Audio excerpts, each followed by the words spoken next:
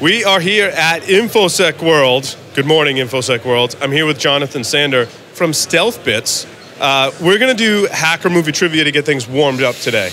You're my right. first victim today. I was going to say, I, So- I, I'm feeling the vibe. do you All right. watch hacker movies? Have you watched hacker movies? I have watched many movies you could call hacker movies. We'll, Okay. we'll see how well I do. Let's see how well you remember them. I'm Okay. going to uh, say a line from the hacker movie. Okay. You're going to tell me which movie it's from. Okay. Okay, you ready? Okay. Shall we play a game? Matthew Broderick, classic WarGames. Like, That is on, correct. right? If that's the best you got, I'm going to do well. No more secrets, Marty. Uh, Scientology made real. Uh, swordfish. There we go. Okay. Yeah. Eh. No, Sneakers. Marty. Oh my God, Marty. That's what I Not Back to the. Future. Oh God, now I did. I, and I just, I just gave you an edit as well. I was going to say. There we go. All right, you ready? All right, so you're going to redeem yourself. He fights for the users. He fights for the users. You were so confident at question one. I was, and now I am. I'm getting destroyed here. Oh my god! He fights for the users. I mean, it's Do not you- Neo. That, that would be too. Do you want a. It's not hint? Matrix. Yeah, I'll take a hint. Uh, Jeff Bridges.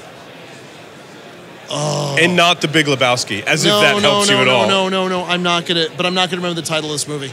It was a Disney. It's now Mm-hmm. playing in my head. There was a sequel recently with an awesome soundtrack.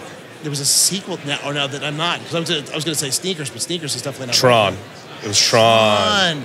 That's not a So hacker. it's movie. so it gets it is so. Go oh. back and rewatch it, and then you tell I me. don't okay. know. Are you ready? Question I don't four. know. Hack the planet. Hack the planet. Okay. Hackers next. Hackers. Yeah. Okay. no one leaves the house anymore. No one has sex. The net is the ultimate condom. Holy crap! No clue. The net is the ultimate condom. Well, the net. Then Yeah! I guess. Yeah, I was gonna say. All right, here we go. All right. Very nice. Very nice. I don't nice. think I've actually ever seen the net. I'm aware that it You've seen hackers though. Yes. Okay. Well, no, I've seen I've seen like 10 minute snips of hackers in a number of years. Yeah. Okay. Are you- Never watched so- the beginning 10. This might be hard then. Are you ready for five true false questions about the 1995 film Hackers? Sure. Why not? Why not?